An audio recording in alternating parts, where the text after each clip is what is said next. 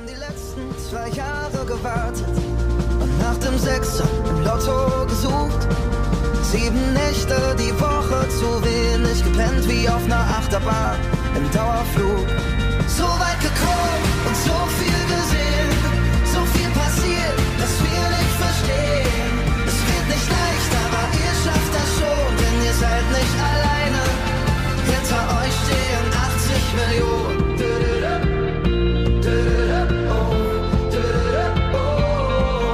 War kein Zufall, damals in Brasilien.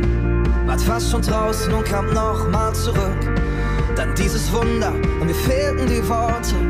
War alles anders mit einem Augenblick.